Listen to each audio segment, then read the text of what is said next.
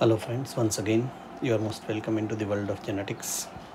Fine, into last lecture we have gone through a law of independent assortment after finishing the uh, dihybrid cross.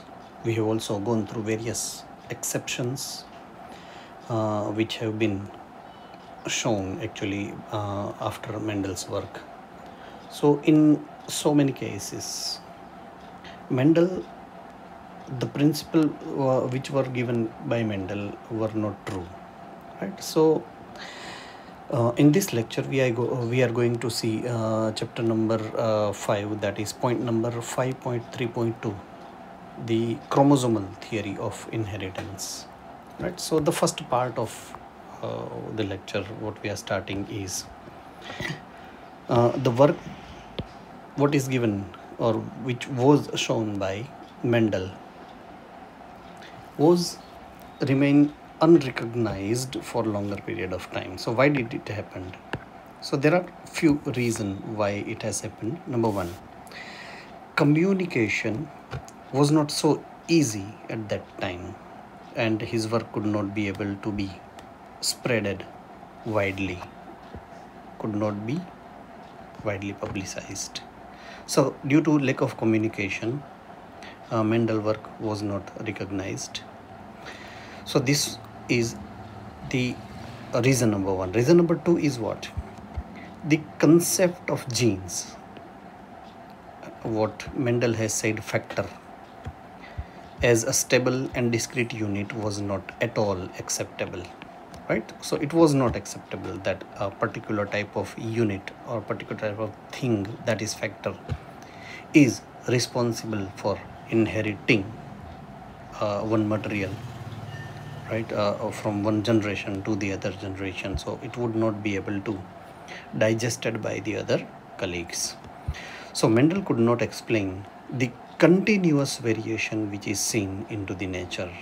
So mendel was unable to explain the phenomena.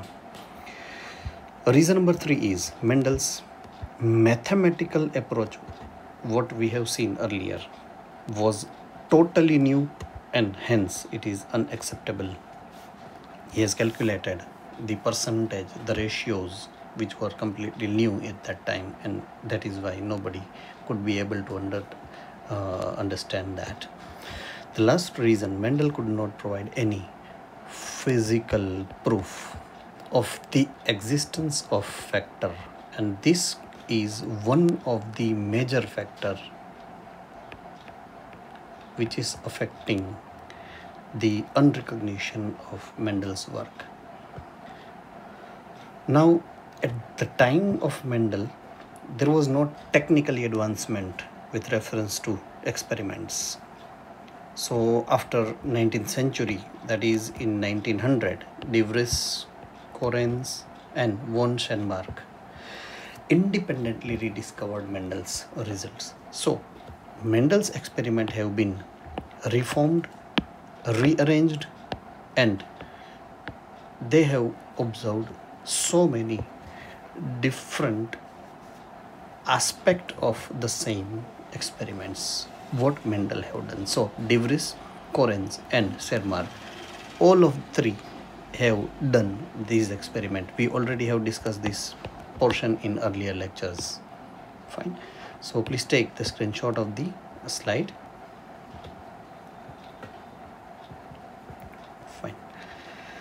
So, later into the chromosomal theory of inheritance, what's important to be understood?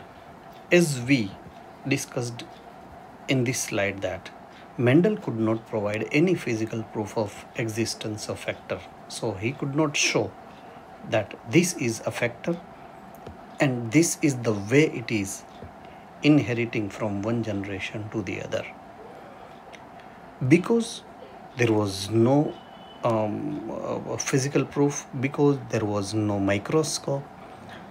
So we could not be able to see the C uh, or the cellular behavior or the behavior of the chromosome inside this uh, nucleus and nothing else. But after the discovery of cell and microscopy it is easily possible to recognize to recognize the cellular behavior with respect to cell division. And hence we can easily show the mechanism of material which is transferred from one cell to uh, to new baby cells. Right so in that case first observation have been found by Sutton and Boveri in 1902 now what they have proposed? They have proposed a new theory called chromosomal theory of inheritance. So Walter Sutton and Theodore Boveri in 902 sorry 1902 they have proposed the theory. Now what they have stated they have stated that the pairing and segregation of pair of chromosome lead to segregation of pair of factors they carried. Now what is factor? Factor is unit of Mendel. So they have actually proposed that factors are located on chromosome and chromosomes are carrying so many factors and they are actually segregated in the form of chromosome. For example uh, into the diagram this is Mendelian factors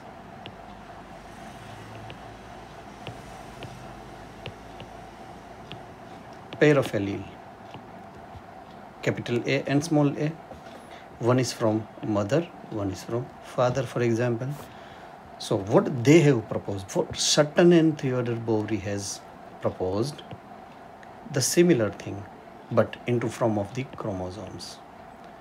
So factor number capital A allele capital A from mother which is located on the other chromosome and the factor small a or allele small a is located into the onto the other chromosome which is given by father. Right? so that was highlighted and proven by these two scientists. Ready? So now if suppose uh, uh, uh, the entire discovery was observed under the microscope and postulated so Sutton united the chromosomal segregation with Mendelian principle and called it chromosomal theory of inheritance. Whatsoever principles which are given by Mendel are actually applicable to the chromosomes without fail. So they have applied, they have united those old rules and principles on in the form of the chromosome. And that is how the name is changed. And the new name is given chromosomal theory of inheritance. Ready? So it is the same theory but uh, uh, in the uh, in the place or the uh, the name what the Mendel have used was factor or allele and in place of factor or allele Sutton and Boveri used the name chromosome and that is why it is the chromosomal theory of inheritance. Fine please take the screenshot of the slide then we are moving ahead. Fine very important statements which are given into the chromosomal theory of inheritance what we see. Chromosomes are vehicle of heredity now what is that? If suppose if i say this is one chromosome and it is having so many factors or genes on them right? So gene a b c d f g h i j k all the genes are forwarded from one generation to the other in the form of these chromosomes. So this chromosome act as a bus or a vehicle on which these genes or factors are traveling from one generation to the other. That is why the name is given vehicle of the heredity. Ready? Uh, so it is a mean of transfer of gene. They are transmitted from parents to offspring and they are immortal.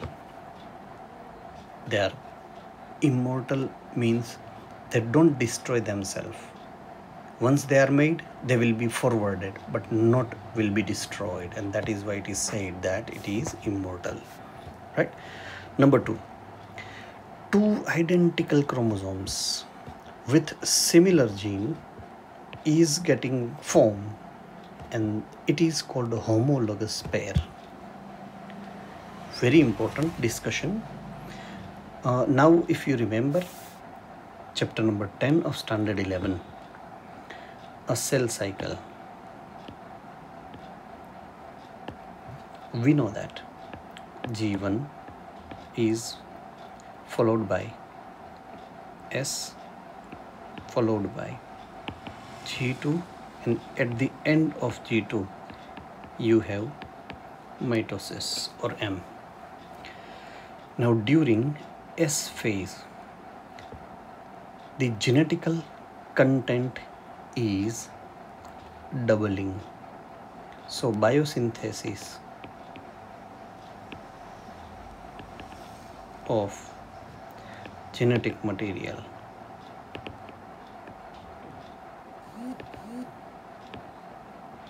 is seen in S phase.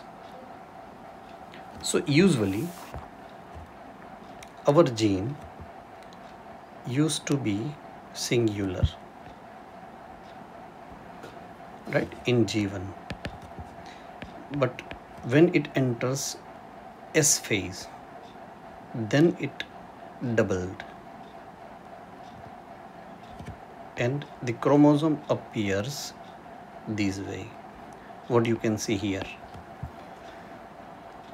right so this chromosome actually showing homologous pair. Why homologous? It is the original and this is the copy of it. So it is the same.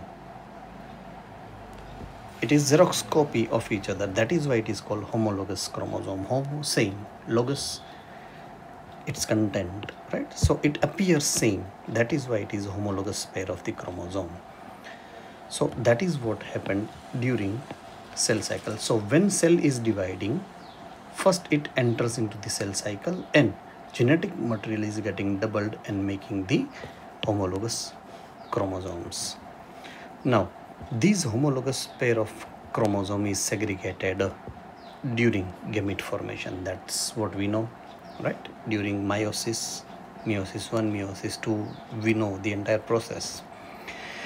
Independent pairs segregate independently of each other. How we are going to see into the next slides. And chromosomes are mutable. Mutation which is responsible for producing variation.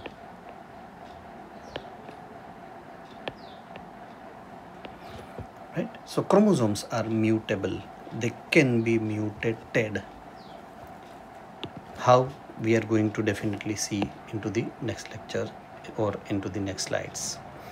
So these are the main important uh, postulate of the chromosomal theory of inheritance. This is what you are supposed to remember very keenly right? So if you see into the diagram homologous pair of the chromosome why they are said to be homologous chromosome? Look gene of eye color is located at the same place at uh, uh, at any given chromosome. Gene of enzyme A, same location. Gene of cytochrome C, same location. Now, in father as well, in mother as well.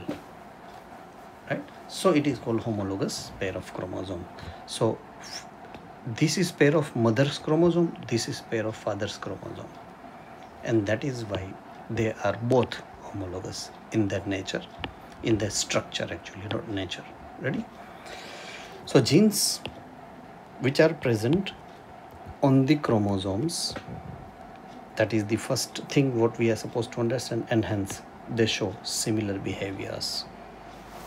Right? So genes which are present on the same chromosome they show similar behaviors.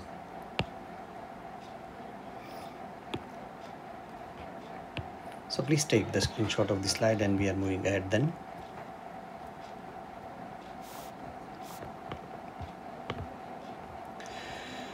now chromosomal theory of inheritance which has been given by Sutton and Boveri.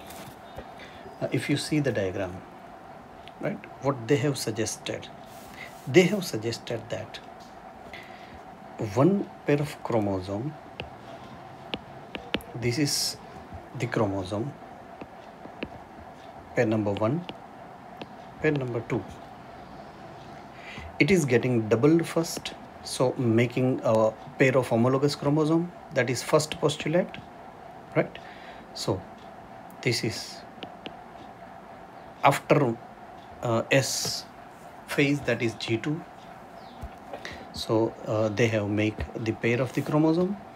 Now one is if i if if suppose i said one is parental and one is maternal. So this is for example uh, maternal. This is a paternal. So maternal and paternal are arranged into the two different plane. Right? So they are getting separated from each other during meiosis 1 and that is why it is called reductional division.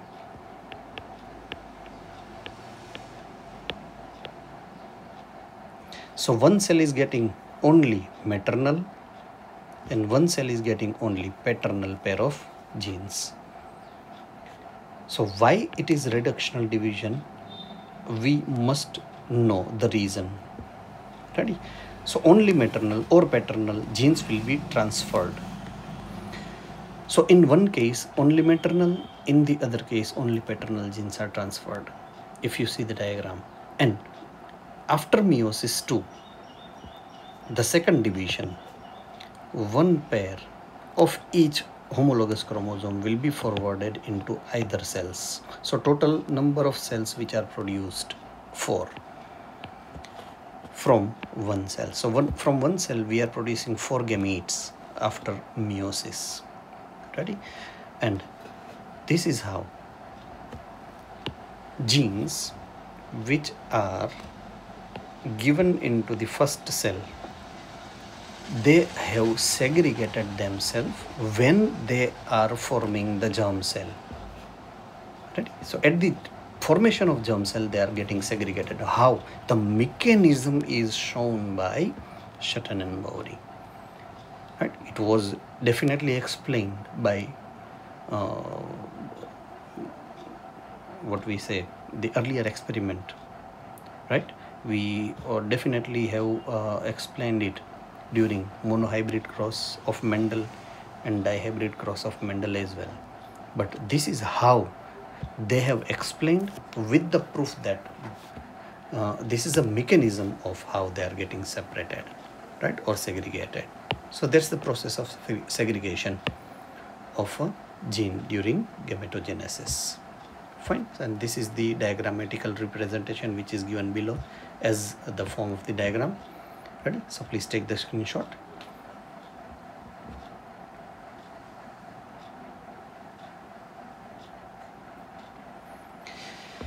Fine if you see the diagram in uh, uh, in your textbook uh, they have shown two possibilities there. In one possibility uh, it is actually not proper into this diagram but uh, that's why I hope uh, given the name. Uh, on the top the large chromosomes are orange yellow at the both end. They are definitely uh, one is maternal one is paternal for example right? So for example yellow is maternal and orange is paternal but the small chromosome if I if you observe in both the cases uh, in the case 1 green and red. So green comes first and red the second. In the case 2 you see red first and green second. So it is not necessary all the times that orange is going to make pair only with green or yellow is going to pair with red only. It may be the possibility that orange may get attached or may get paired with red and yellow may get paired with the green.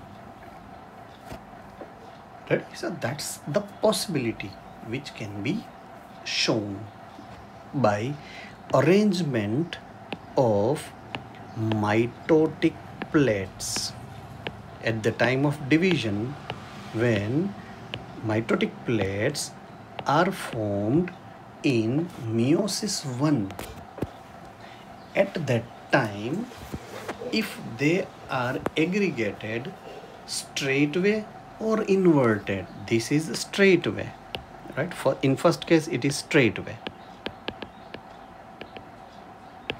and in case 2 it is inverted.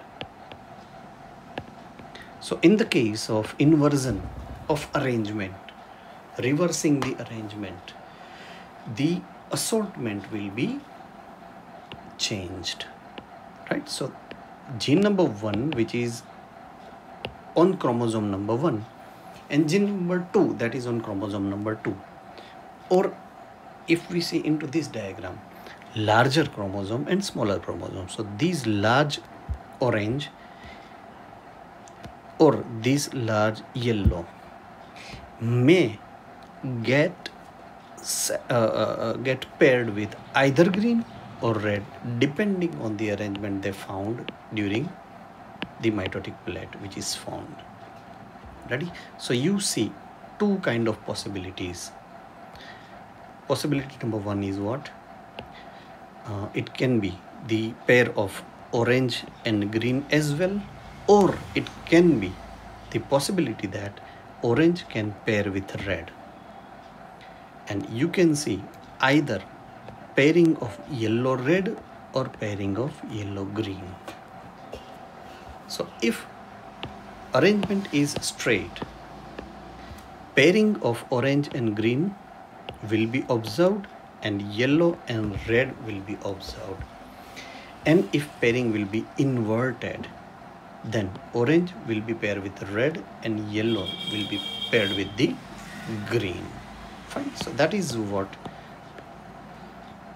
experimentally proved by Sutton and Boveri fine. So please take the screenshot and then we move ahead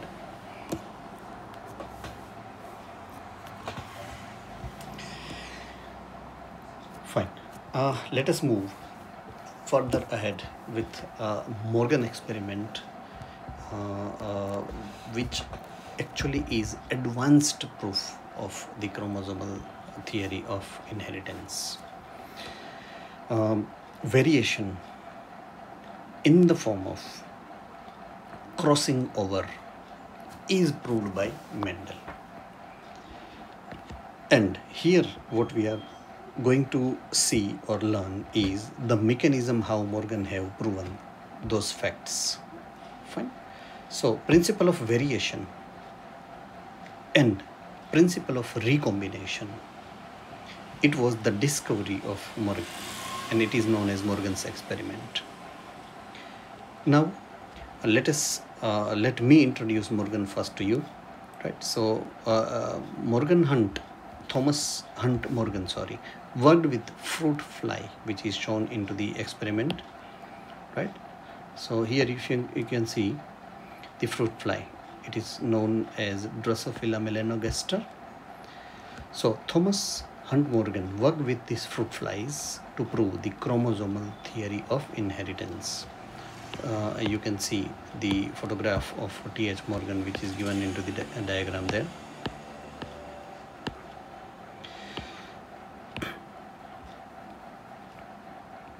Now why Morgan's experiment is done by uh, Drosophila as we have seen the various characteristic feature of pea plant right? Why pea plant is uh, used by uh, Morgan uh, sorry uh, Mendel. So similar kind of the characteristic which are found into the Drosophila by Morgan so if you see the various characteristic feature which are uh, which have uh, actually um, attracted Morgan to use Drosophila for his experiment. So Drosophila breeds very quickly right? And it has very short generation time that is life cycle of 12 to 14 days even shorter than pea plant.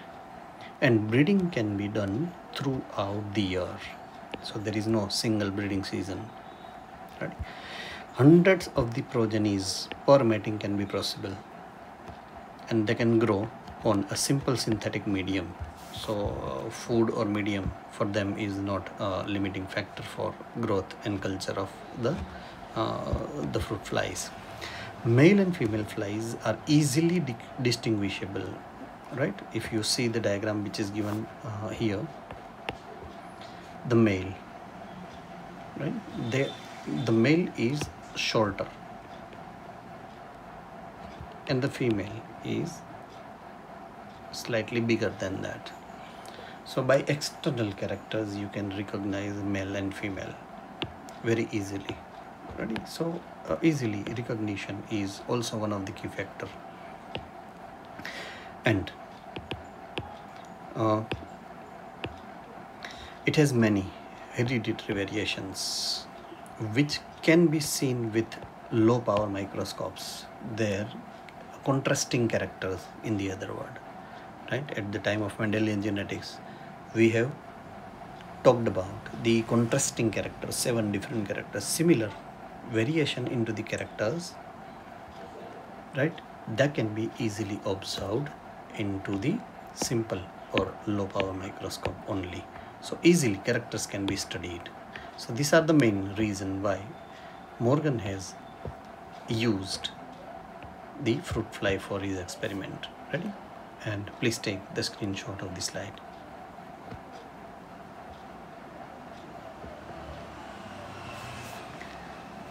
Now mechanism of linkage and recombination which have been given by Morgan in his experiment. Now what is linkage and what is recombination?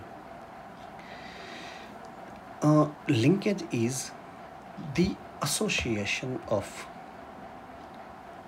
two or more genes. So it is joint venture association where genes tends to be remain together right into or onto the same chromosome it is called linked gene and this phenomena is called linkage. They do not show independent assortment. When they are forwarded from one generation to other they remains uh, with each other only. And recombination means generation of non-parental gene recombination which a, a, combination cannot be found in either of the parent it is called recombination. Ready? For example in dihybrid cross right? You have seen that capital T capital uh, uh, round and yellow capital R capital R capital Y capital Y. When we have cross with small r small r small y small y into the parental generation they have produced f1 generation as capital R small r capital Y small y. Right? When we have produced f2 generation they have four different type of progeny. Right? Round yellow. Round wrinkled green wrinkled oh sorry mm. wrinkled and yellow and wrinkled and green like that so four types of uh, uh, progenies by their external character that is their phenotype these are phenotypes right so phenotypes four types of phenotypes you can find at the ratio of 9 is to 3 is to 3 is to 1 if you remember. So this is found into parent this is found into parent but these are never found into the parent. It is called non-parental gene combination and that is why it is said to be recombination. Ready? So this kind of recombination also found. So how this recombination can be possible that has been described. So linkage and recombination these are the two phenomena which is given by T.H. Morgan that is Thomas Hunt Morgan. We are going to see how this linkage and recombination is uh, produced by various experiment of Morgan into the next lecture. So I'll see you into the next lecture with Morgan's experiment. I'll see you then. Bye and have a nice time.